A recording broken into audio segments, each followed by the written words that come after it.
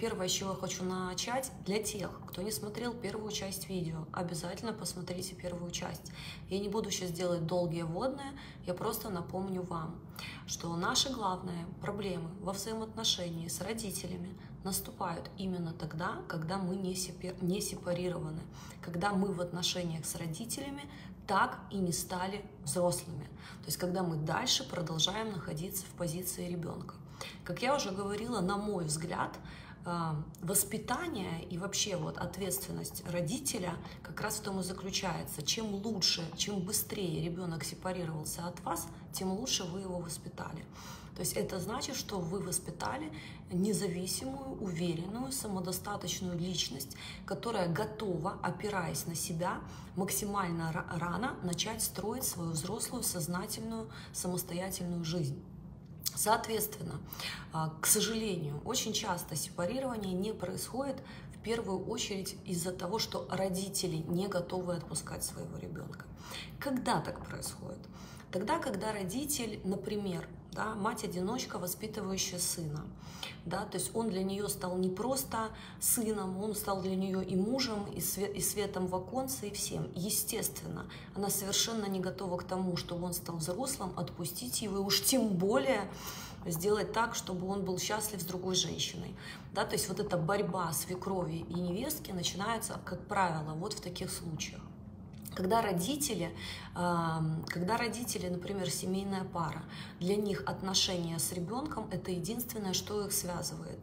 Поэтому, соответственно, они пытаются максимально продлить состояние ребенка в этом вот э, состоянии ребенка, он взрослый, да, но именно состояние в отношениях для того, чтобы дальше их союз был крепок.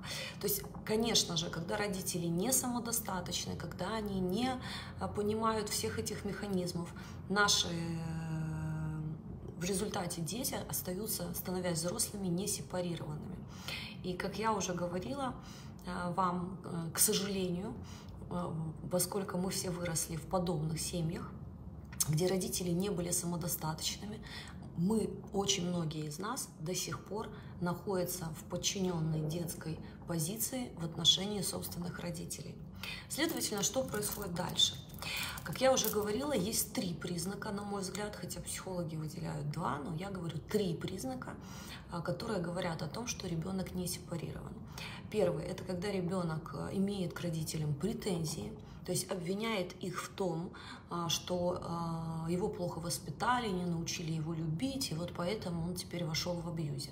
И сожалею, но очень многие из вас в клубе «Жизнь» проходили это состояние из участников, или некоторые до сих пор находятся в нем. Повторюсь свои слова с прошлого видео, что ни о каком вообще самодостаточности не может быть и речи, пока вы наполнены претензиями к собственным родителям. И эту тему подробно поднимала в предыдущий раз. Второй признак это тогда, когда вы, пообщавшись с родителями, постоянно пребываете в чувстве вины.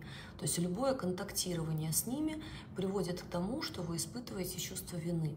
Так называемая бытовая манипуляция, которая, как я говорю, передается из поколения в поколение, как родовое проклятие. Да? Общение с ребенком через чувство вины. Ой, у мамы сердце, ой, у мамы печень прихватила, мы тут одинокие, мы никому не нужны, там, ты не звонишь, ты хреновая дочь вот, а ты звонишь, ты тоже хреновая дочь, ты звонишь мало. В общем, вообще любые формы давления на чувство вины, когда ребенок, пообщавшись с родителем, становится, входит в состояние чувства вины, конечно, это признак незавершенной сепарации. Третий, третий способ, подтверждающий незавершенную сепарацию, это когда ребенок живет во имя родителей во имя матери или во имя отца. То есть он не имеет своей личной жизни, но он полностью содержит мать или тратит э, денег больше на родителей, чем на себя. То есть, ну, как бы еще раз повторю свои слова, я считаю, что родителям надо помогать, это нормально, это забота, в этом нет ничего плохого, и можно дарить подарки, но в тот момент, когда вы отдаете родителям большую часть накопленного или заработанного, или вы сами живете очень аскетично, при этом ваши родители себе ни в чем не отказывают, то это как раз про нарушение вообще всего, чего только можно. Это тот момент, когда вы стали родителем для собственной матери. Матери.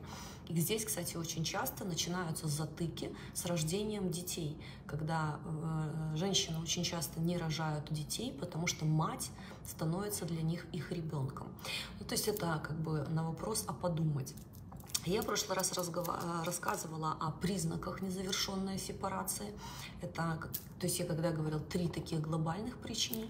Вот. А незавершенная сепарация – это, конечно, материальная зависимость от родителей, да, то есть или содержание, неспособность простить прошлое, чувство вины, боязнь разочарования и, конечно же, четвертое – нарушение личных границ постоянное нарушение личных границ родителями, когда они э, чрезмерный контроль или они имеют, имеют э, способность своим ключом открыть дверь и зайти в квартиру, вот, или когда они требуют отчета, что вы делали каждый день.